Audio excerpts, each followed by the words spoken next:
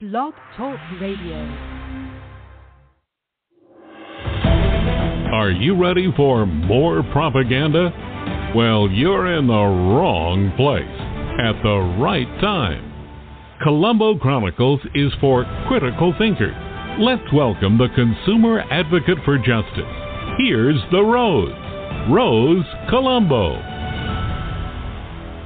Hi, everyone. It's the Rose, Rose Colombo, right here for you every Wednesday.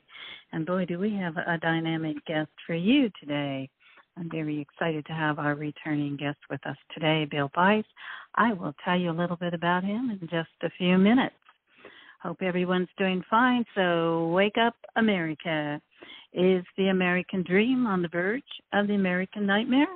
Or is the awakening for Americans a purging of the dark forces that came against America and Americans and are causing the sleepyheads until recently to awaken from their deep sleep and discover they are losing their freedom, their jobs, their businesses, and paying high prices for the necessities of life.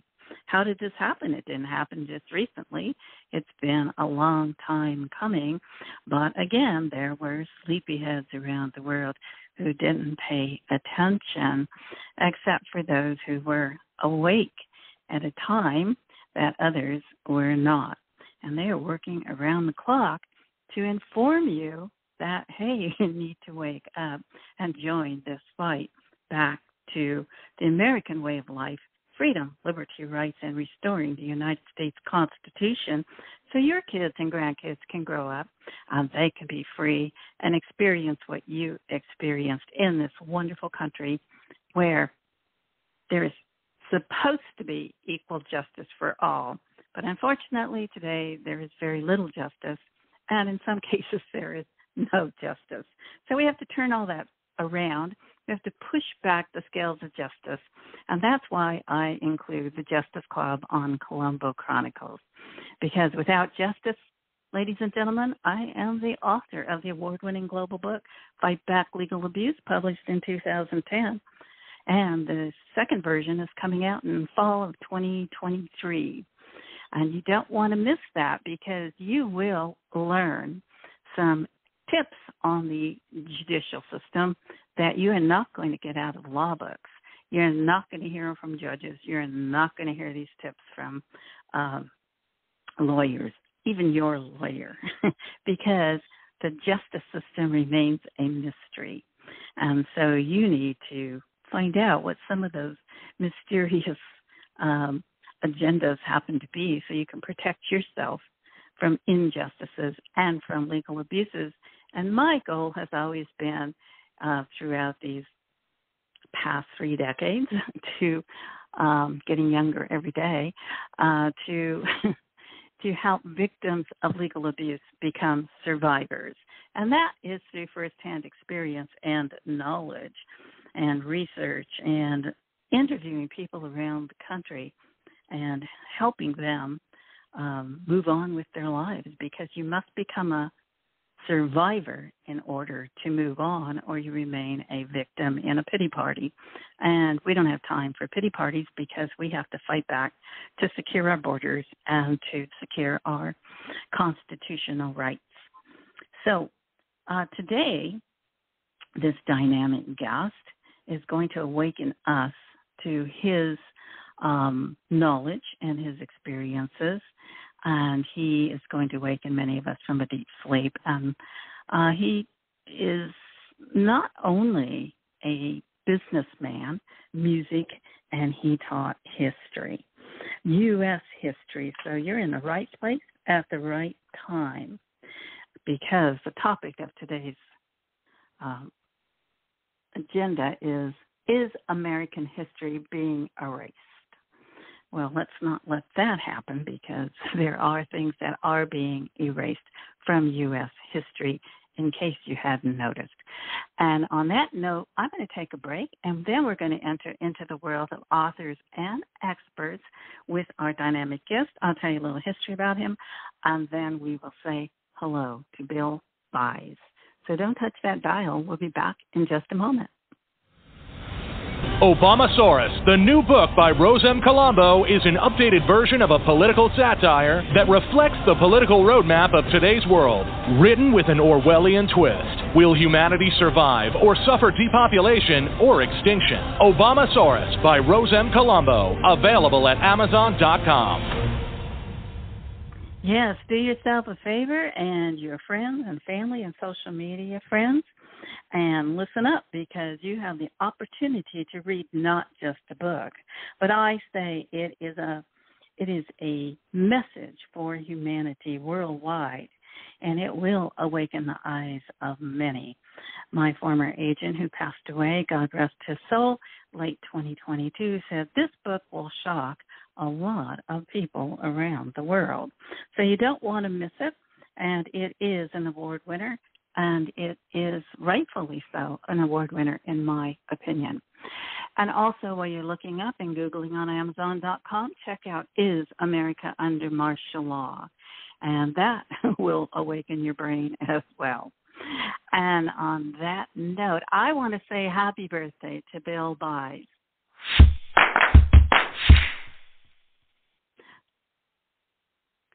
It is his birthday today. He's another year younger too. So we're just all getting younger and that's the important thing, right? Exactly. So let me tell you a little bit about our guest. Bill Buys is the son of William W. and Geraldine F. Buys, born on April 26, 1951 in Amsterdam, New York. His father was a United States Army medic in the Korean War at the time of his birth. Growing up in the military, he was able to live in many different states and experience different parts of the country. This gave him insight into a different and um, into different insights on things politically and militarily than the average American. He graduated from Biloxi High School in Biloxi, Mississippi in 1969. He majored in music education U.S. History, graduated from the University in Southern Mississippi in 1974. He married Val Henderson in December 1973. They have two beautiful grown daughters. He was a high school director as well and involved in many different sales ventures. He is currently a business owner in the manufacturing field. He has been involved in politics for many years, participated in local and state campaigns. This, however, in I believe it was 2016, um, was his first time that he uh, ran for public office. He ran for vice president, and uh, he was help, he was hoping to help promote limited government for we the people. So let's say happy birthday to Bill Buys and a big hello. Hi, Bill Buys. How are you doing today? I'm doing great, Rose. It's good to talk to you again. Well, it's good to talk to you today, and I hope you're going to have a great day, a great birthday today. And it's always fun being another year younger, and we are looking forward to hearing about what you have to say uh, about our beautiful country that we all love, or most of us love. And anyway, so Bill, let me start off with this question because there are over 40 Democrats who would like to make Washington, D.C. a state, which would give them two more Senate seats. And that is a problem for us and uh, who don't want that to happen. So, did the states create Washington, D.C., or did Washington, D.C. create the states? And what do you think about that? Who would be in charge and what would happen if they did make it turn it into a state?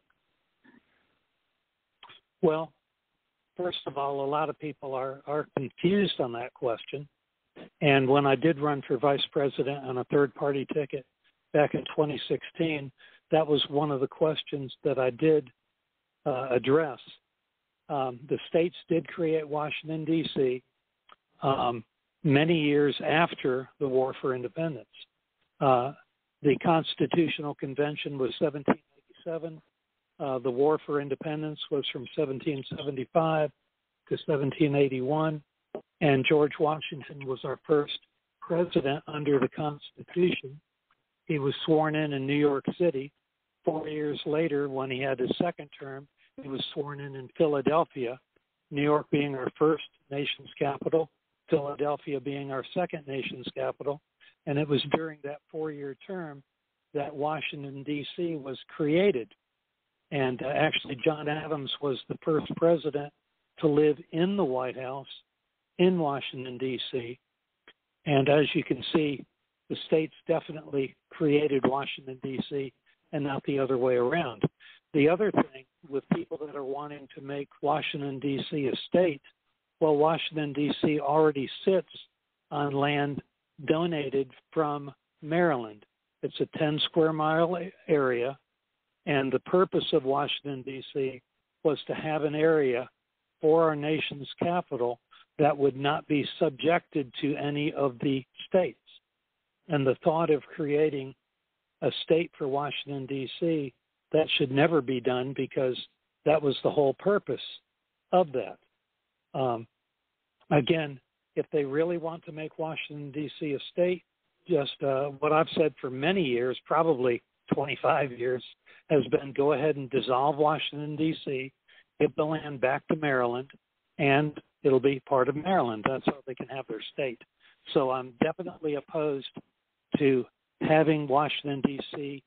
to be a state because, again, that was the whole purpose of having a nation's capital that was separate from the states. You know, like I said, that would totally mess that up. And and there's just no way that it should be done. So no, I'm totally opposed to even even considering that. But I am definitely in favor of dissolving Washington D.C. because it's definitely gotten totally out of control. Um, the one of the things that I'm definitely opposed to is the federal income tax because it's a direct violation the 10th Amendment of the U.S. Constitution. What exists at the state level, such as a state income tax, cannot exist at the federal level, which is a federal income tax. And actually, it's it doesn't fall under the 32 enumerated powers that Washington D.C. is allowed to do. Washington D.C. was never ever uh, the founders never intended for Washington D.C. to be able to directly tax the American people. What they set up was an import, and that's what the federal government survived on from 1789 until 1913 when they passed an unconstitutional amendment that was never ratified, creating the federal income tax.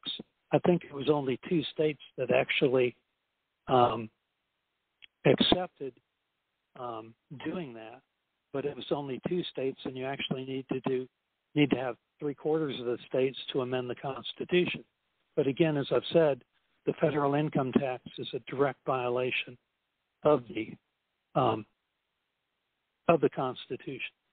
So again, well, that's Washington that's, that's really you know. Uh, that's really interesting, Bill, because um, you know some people call it the District of Columbia, other people call it District of Corruption, and um, right. because and so um, the the reason I was concerned about that too is because if um, the District of Columbia, uh, which holds itself up under the Constitution as the federal government, and they became a state, they would no longer be the federal government. So that would wipe out the federal tax, and it would wipe out all the federal laws, and they would they would actually put them, in my opinion, uh, put them out of work because they would all have to resign because there would be no more federal government, in my opinion, because that's what Washington, D.C. was created to do, to be nonpartisan, to be represented by the, the parties, the two parties, major two parties, and and to uh, be and to and to come together to uh, work for the people, with the people, by the people.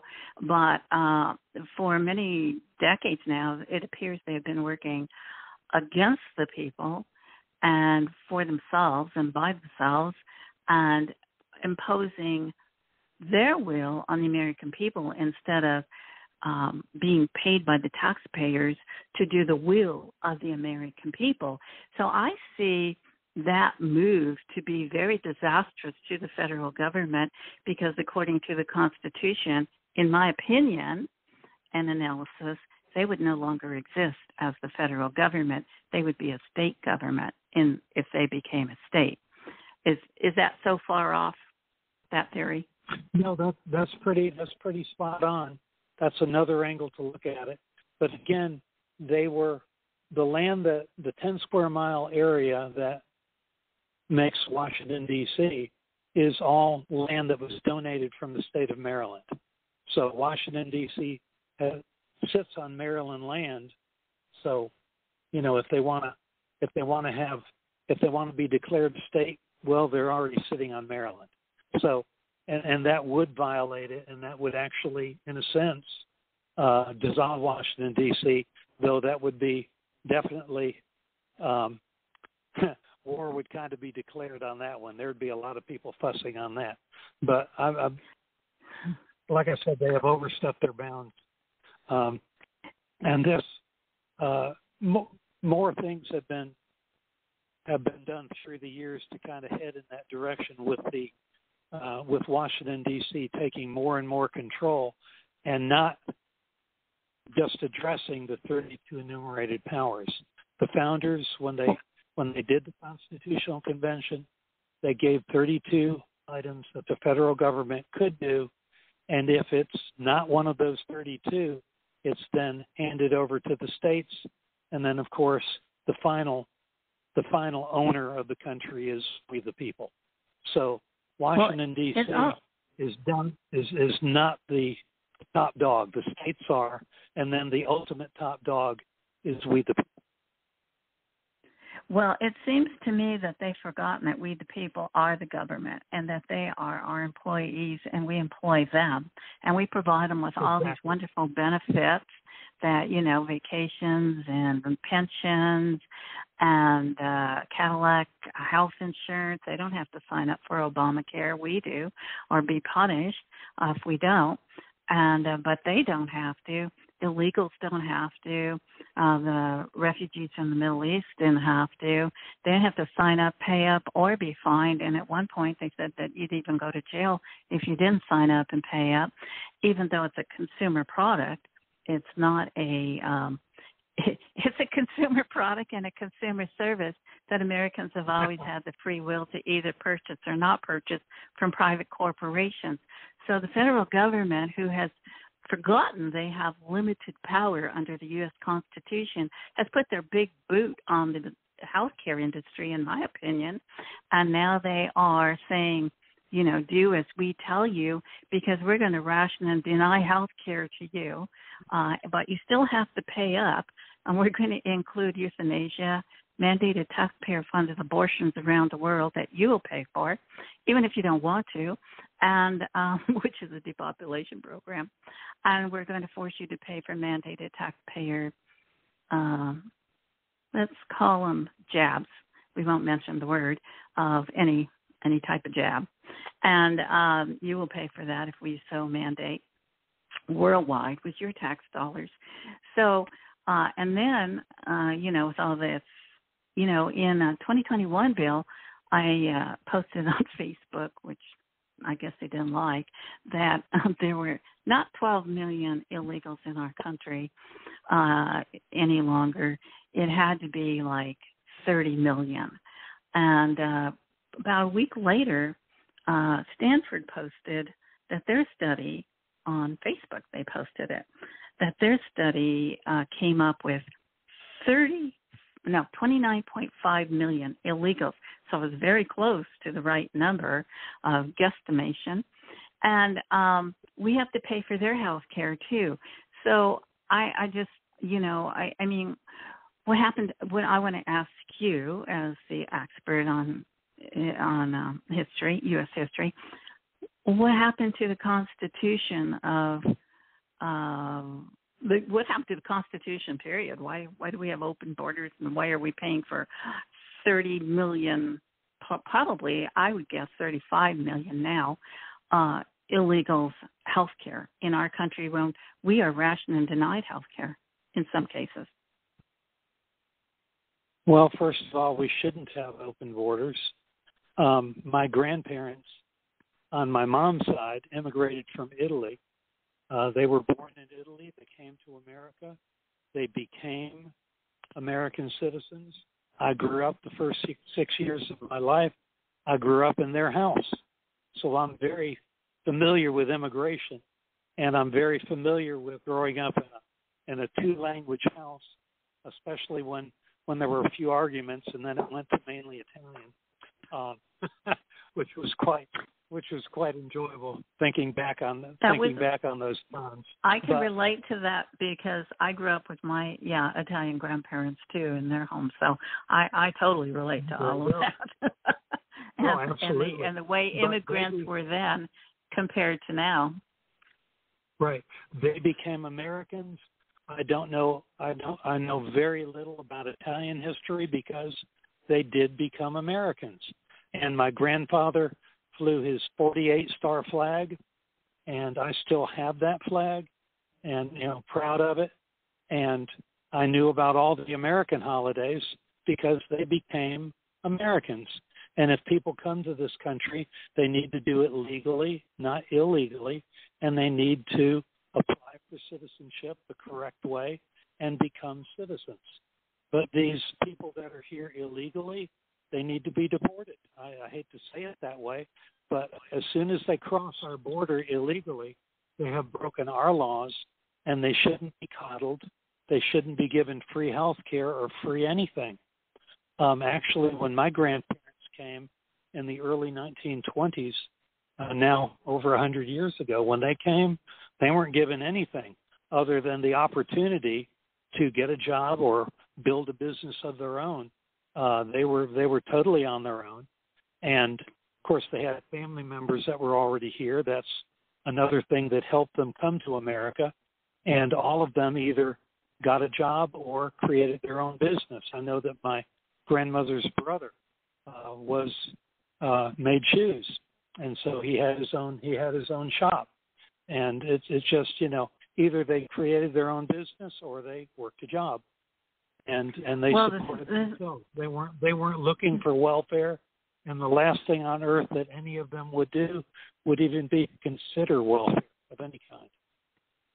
Yes, and and the thing is that today, what I was going to mention is that they all appear to, you know, to come here and demand all of these entitlement programs paid by the American people.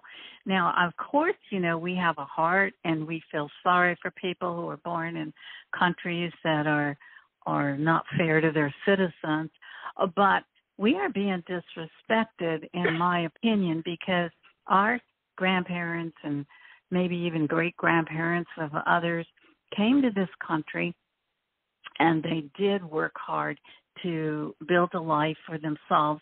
They didn't ask for welfare from the government and they didn't expect anything from the government. It would be an embarrassment.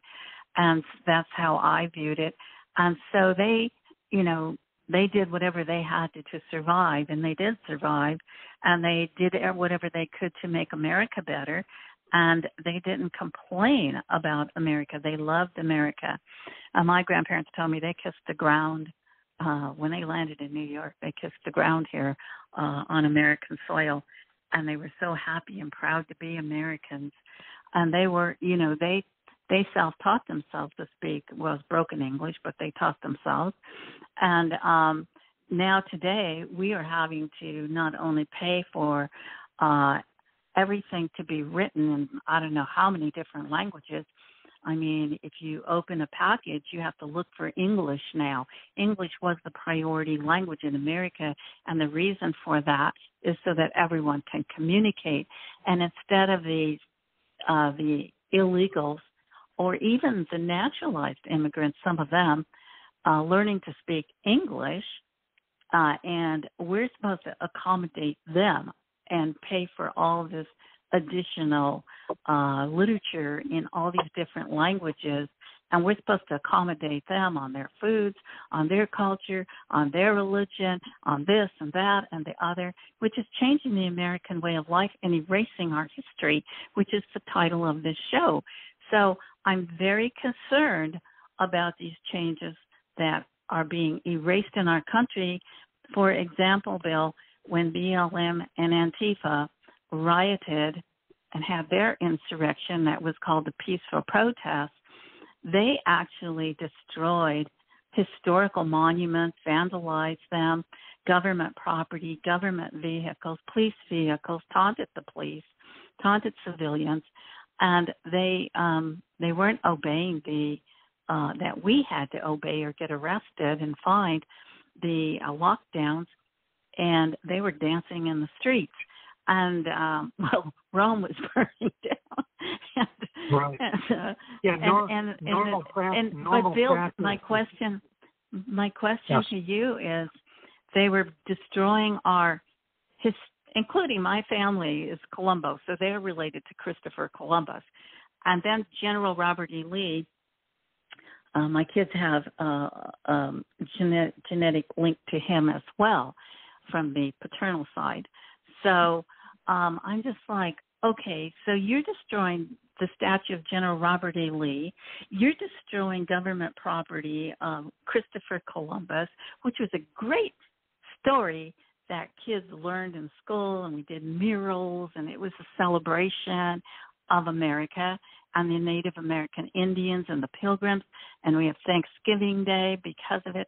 But all of these traditions, these monuments, even vandalized Abraham Lincoln's monument, knocked down monuments and statues, and they were not held liable or accountable. But Bill, if you walk on a government property and they say you're trespassing, you, as a natural born American, will be arrested. Or if you trespass on somebody's private property and they call the police, you, as a natural born American, even if you were not had any intent to do anything wrong could possibly be arrested. But we have all these unidentified people now who come here and they are not arrested for anything that they are doing, like trespassing on private property in America and crossing over into our borders. And we are we are coming last in our and those historical monuments and those historical statues really bother me certain group of people who have disdain for our U.S. history, whether it's good or bad. All countries have good and bad history. It needs to remain in place so that our future generations know how our country was built and who was involved. Explain that to our audience and to me, how that is well, being allowed. Yeah, we well, even our politicians today, many of them refer to America as a democracy, and America is not. The founders created a constitutional republic.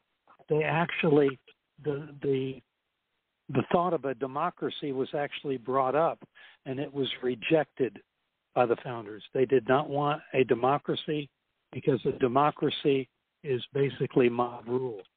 What they wanted was a republic, which is a representative government. And the founders set up a system of government where we have the president, we have the House and the Senate, and we have the judiciary. We have the three branches of government. And then the House and the Senate, the way the founders set it up, was they set up the House of Representatives to be uh, districts in each of the states, you know, congressional districts, like Mississippi has four congressional districts. What does California have? Like about 30 or 35? That's quite a few congressional districts yeah. because it's based on population. But each of the states have two United States senators, and the founders set it up for the senators to be appointed by their states' legislatures because they wanted that branch of the Congress to be totally controlled by the states. They did not want popular election of U.S. senators. They had that in the House. They wanted that by popular vote by the people, but they wanted the Senate, two senators per state, and for them to be appointed by the state's legislature, and therefore they would be directly responsible to the state legislature and to the governor of each of those states. And if they didn't vote to, to represent and support their state, they would be immediately removed from office. This all changed. Again, another unconstitutional thing. This all changed on December 23rd of 1913 when they said that the states turned over that power to no longer appoint their senators, but to allow them to be elected by popular vote, which didn't happen.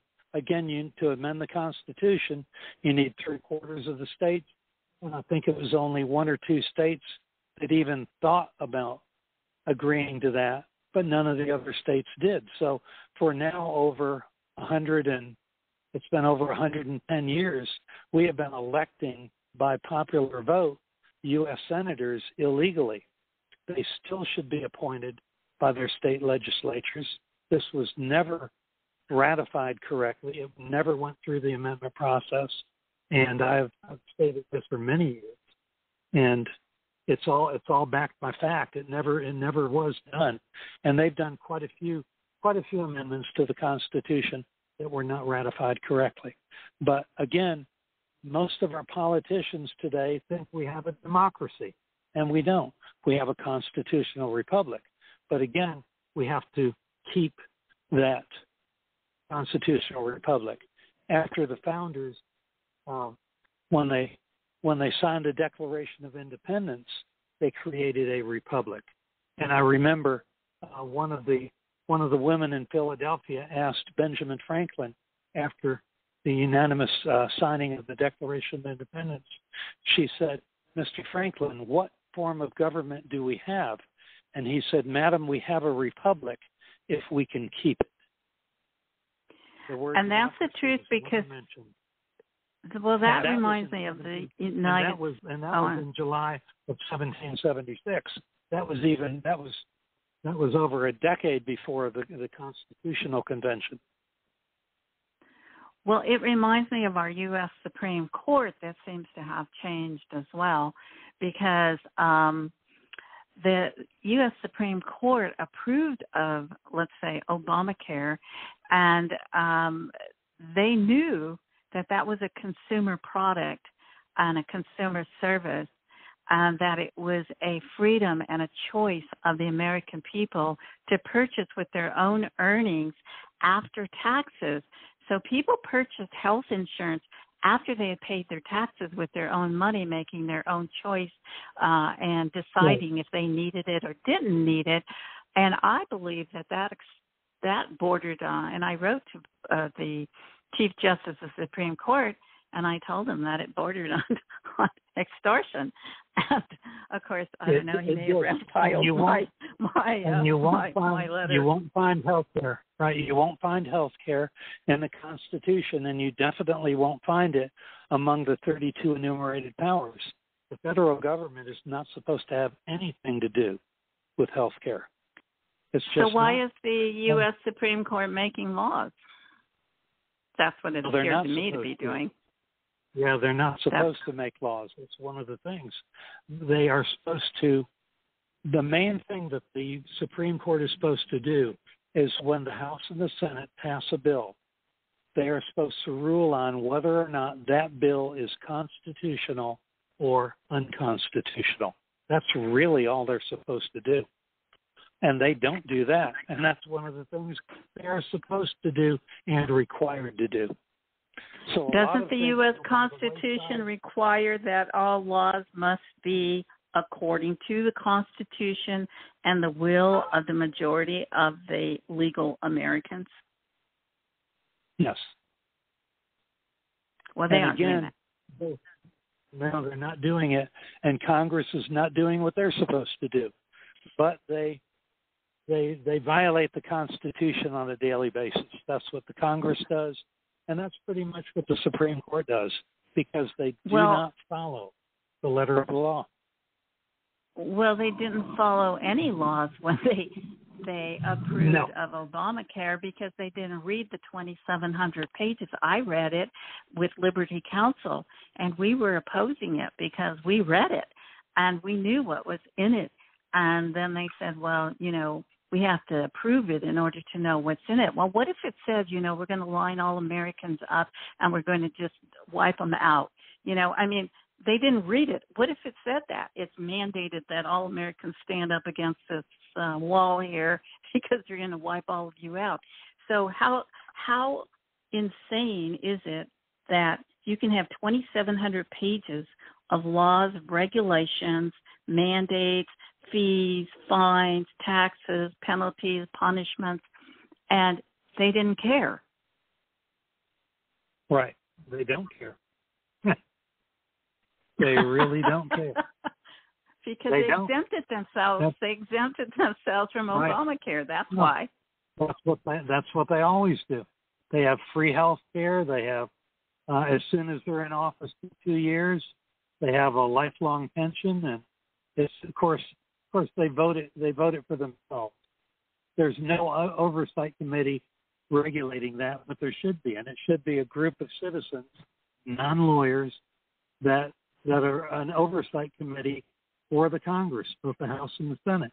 It should be that way, where we have, you know, it might be a committee of 25 people or, you know, something like that, uh, and they should be able to uh, dictate to Congress what they can and can't do, and it all needs Well, to be follow, following the Constitution. But they don't do it; Yeah, they just I've ignore it.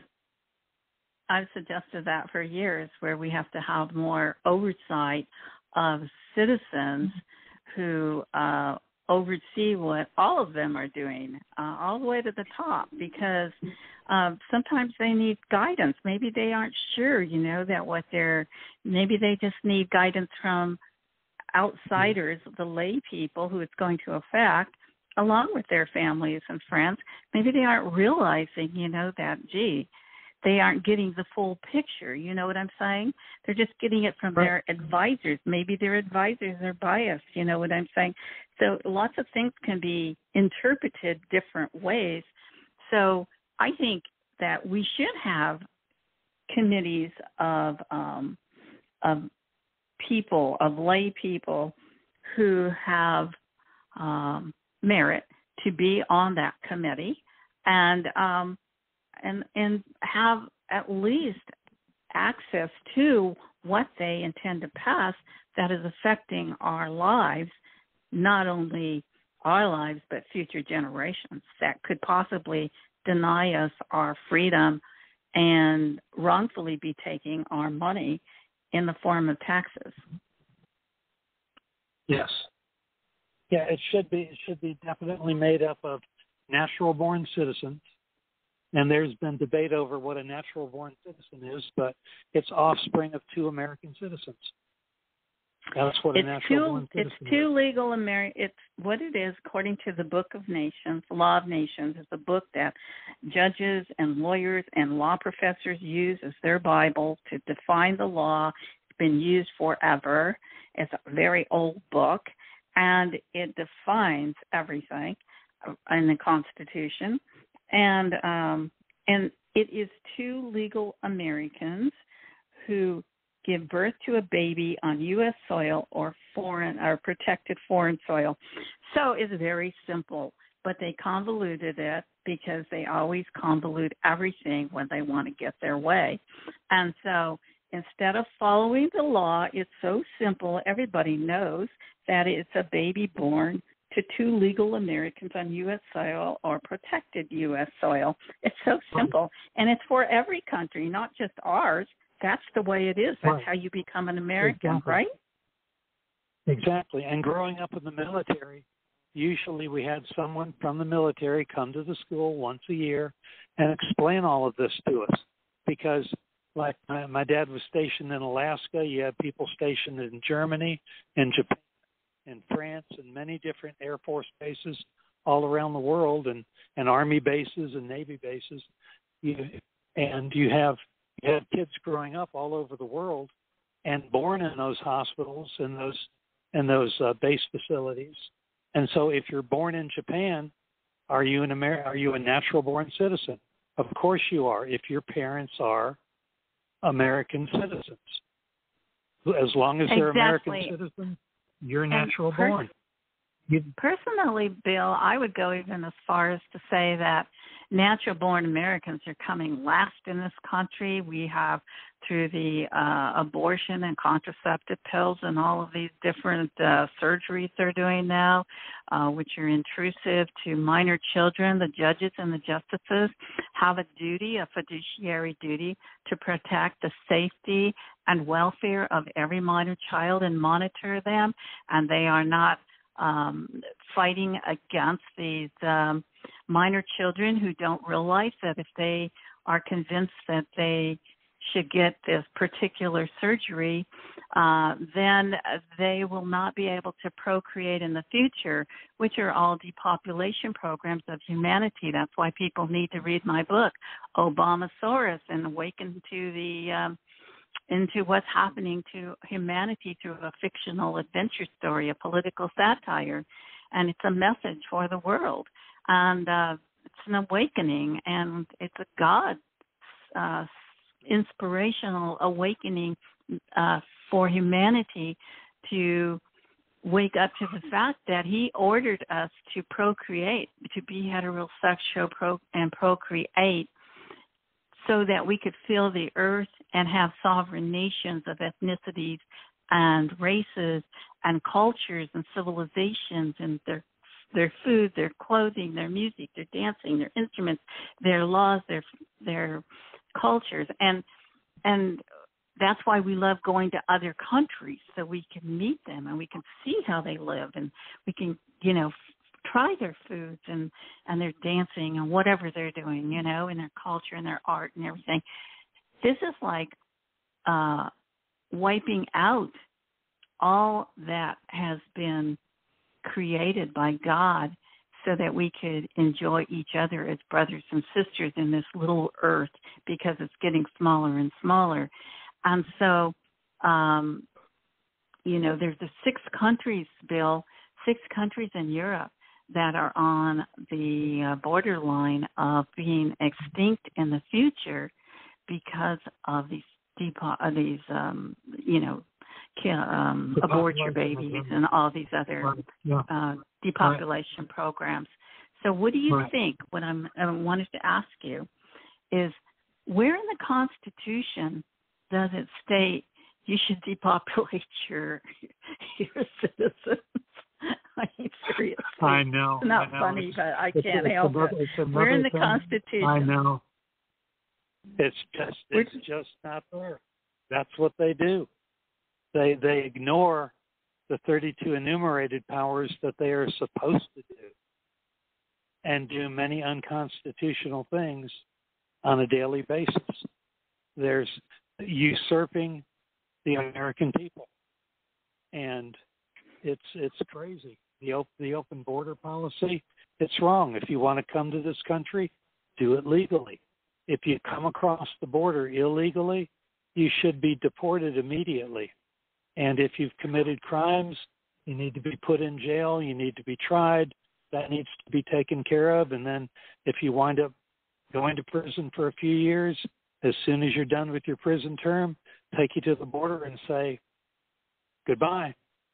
I mean, it's and the other thing, and the way to take care of all of these illegals in this country, if we turned off the money, if they didn't have free housing, if they didn't have free health care, if they didn't have a welfare check every month, and most of their most of their welfare checks were to supply them with food and rent and everything is more than people get on Social Security that have worked all their lives paying into Social Security, whether they wanted to or not, they had to, and paying into Medicare, whether they wanted to or not, they had to.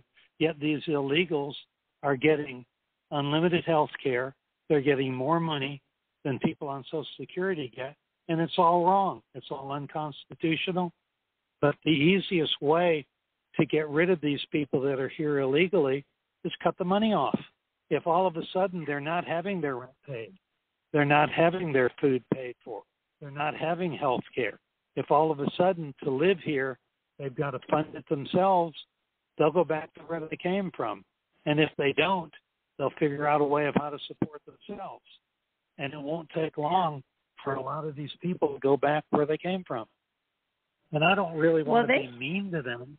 They've come here because our politicians basically have not only invited them here, but a lot of times have bussed them here or flown them in here. And well, we have I mean, illegals in our government. We have illegals yeah. working in our government. Yes, we do. And we. Uh, I won't we mention have we have lawyers who came here as illegals and are practicing law. I won't law. mention a certain right. I won't mention our our current vice president because she's not a citizen. Oh, we yeah. I mean, we're perfectly aware of that, and Mm-hmm. and um and you know, my, my opinion is that only natural-born Americans should be in Congress, in the Senate, in the Department of Justice, and in the um and especially in in as president and vice president. And um I, I truly believe that. It's our country. No other country will allow us go to the Middle East, go to China, go to Cambodia, go to North Korea, go to Vietnam, go to all of these countries and or even the UK or any of these countries. Tell them, you know, I'm an American. I've come here. I want you to pay for my housing, my food. I want health care. I want a car. I want a cell phone, and I want to be president of your company of your country. Right. Yeah, they would. How many are going to do that? at. And Yeah. I am going to walk across your border illegally, and you just step aside because these are my demands, and I expect this is my entitlement program. Here's my list of things I want done for me.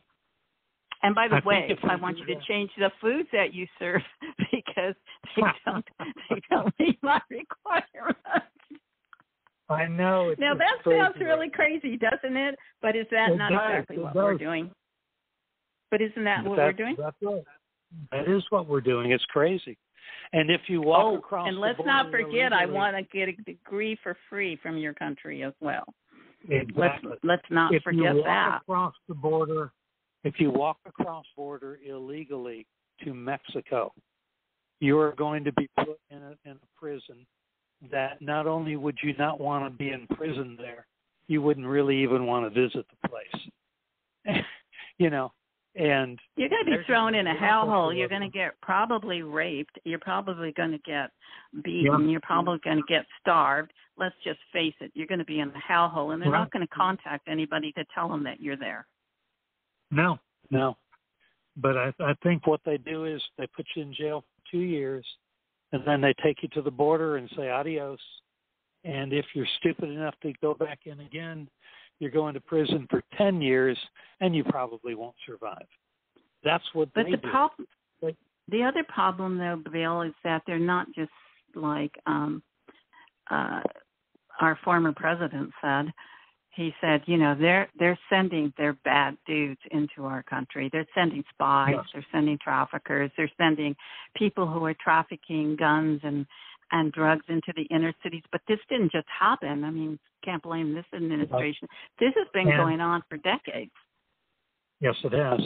We're, we're dealing with you know drug dealers coming across the border, human traffickers, the human traffickers trafficking children and women into this country, and of course we have human trafficking all around the world, and we're not doing anything to stop it. And it's very simple to stop it. You just don't allow it. human beings have become the endangered species, especially the babies and the children, because Yeah. um, we have a whole list of endangered animals and bugs and turtles and everything else that you will be fined fifty thousand dollars to go to prison if you injure them or kill them or remove them from their environment. But if you do that to uh, people, um, well, so be it. You know, I mean, you just you know just look the and, other and way. if you wipe out if you yeah and, and they have a whole assembly line of uh of using young girls who are pregnant uh, uh on a assembly line of uh aborting their babies to sell the baby parts for tons of money for big profits and um you know that is called um uh oh, organ harvesting that they do over in communist China, but they put the focus over on communist China and said, look how bad those people are. And they said, oh, but over here in uh, the PP uh, uh, facilities, that's that's that's beneficial because that's a mother's right to do that.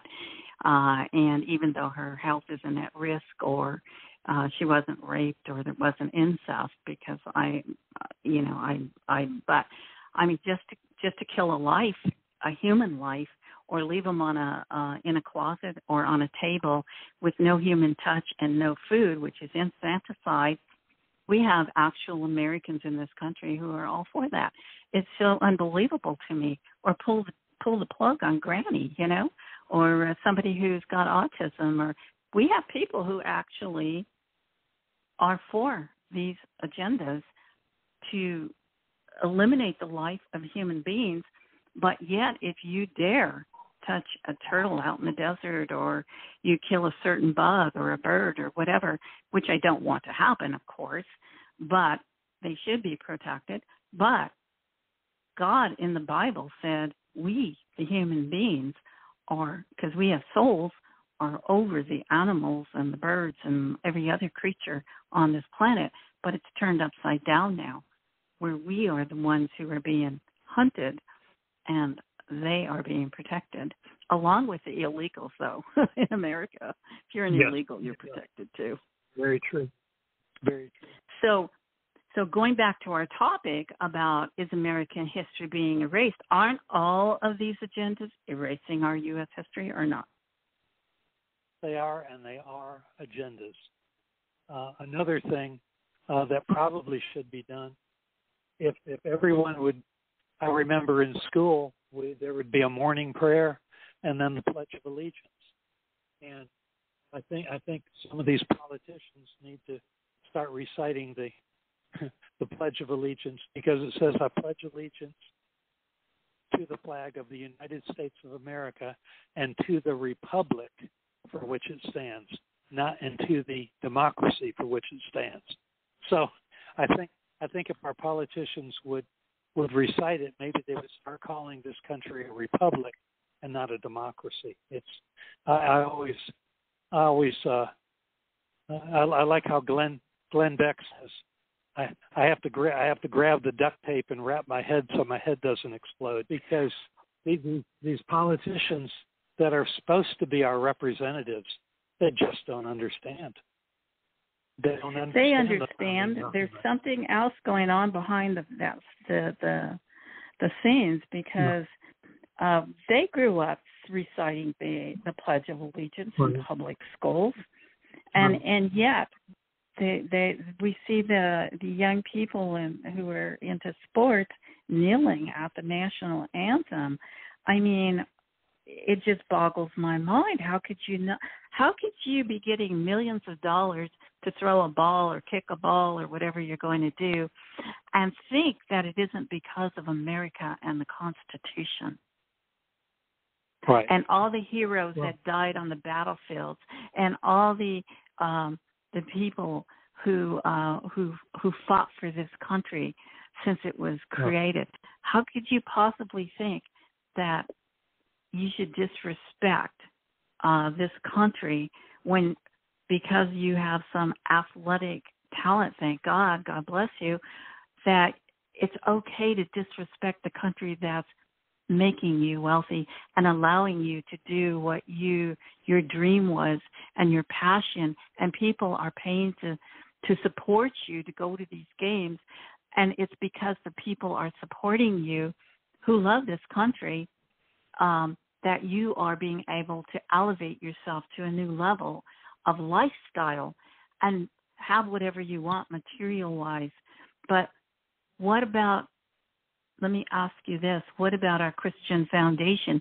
Do they do they not have that Christian foundation inside their hearts, bodies, and souls and minds that they would kneel down at the national anthem that God inspired someone to create, or the Pledge of Allegiance to respect your country where you are being able to elevate yourself? Right. Free it's, to um, elevate yourself. Right. Well, there there has to be some re-education of the American people, but it has to start from the children. And the the schools have been usurped. Um, they're it's government propaganda. They're not schools. I graduated back in 1969. It's not the same school system. I was a public school teacher. I was a high school band director. I did it for eight years. It was a different school system. It wasn't the same school system that I grew up in. And, but you have to, there has to be a grounding of the children to let them know this is the country that we live in, but it needs to be based on truth. It does not need to be based on a political agenda. And that's what we're living in today is a political agenda. And it's wrong. It is so wrong because God blessed this land and he everybody that was innate to our soil, born to two legal Americans on U.S. soil, a protected U.S. soil, is a natural born American. And our soil is blessed, and that's with plenty. And that's why if God, uh, the nuns, I went to Catholic school, taught us from a very young age, you have to pray for world peace all of our brothers and sisters. You have to pray for brother uh, for world peace because if people turn their backs on God, America is going to suffer greatly because God blessed America to help the rest of the world and help feed the rest of the world uh, in countries that are not as blessed and um and and you know the land of uh, milk and honey right. and um we have to be grateful but unfortunately we've uh, just about run out of time here. So I want your time to shine. So, Bill, leave your message to America and the world and anything you'd like to say. Okay. Well, things have to change in America if we are going to get our republic back. The Constitution needs to be reestablished. Our politicians need to realize that they are public servants uh, they are not our leaders. They are not our bosses. The American people over the politicians. They are supposed to be public servants. They are supposed to follow their oath of office. They are supposed to follow the Constitution, and they are supposed to represent the people that elected them. Most of them do not. They think they're the boss. This is at, at both the state level and federal level. And I've dealt with state politicians and I've dealt with federal politicians, and they're all in the same boat. Uh, they just feel like they're the big cheese, and they don't understand that they are public servants. So that's the biggest thing I can say. But it needs it comes back to educating the children on what we actually have, and the public school system has an agenda, and that's not it. So that needs to be addressed too. So there's a lot of things that can be readdressed, and maybe we can get back together again, Rose, down the road, and talk about some of those things. Absolutely. And God bless you, Bill Buys, and thank you so much for joining us on Colombo Chronicles uh, today. And of course, we will do it. again. And uh, you have a very happy birthday. Bye bye. Thank you again, Rose. You're welcome. And that's all we have time for, folks. But be sure to get a copy of Obamasaurus. And uh, remember, God loves you, and so does the rose. Obamasaurus, the new book by Rose M. Colombo, is an updated version of a political satire that reflects the political roadmap of today's world. Written with an Orwellian twist. Will humanity survive or suffer depopulation or extinction? Obamasaurus by Rose M. Colombo. Available at Amazon.com. Well, my friends, time flies. And now is the time to say goodbye. Thanks so much for being part of the Colombo Chronicles family. You are appreciated. Please do it now. Bookmark. Push that like, share, and follow button. Oh, and don't forget to comment below and stay in touch. Make your family part of the Colombo family. Until next Wednesday at noon, remember, God loves you and so does the rose.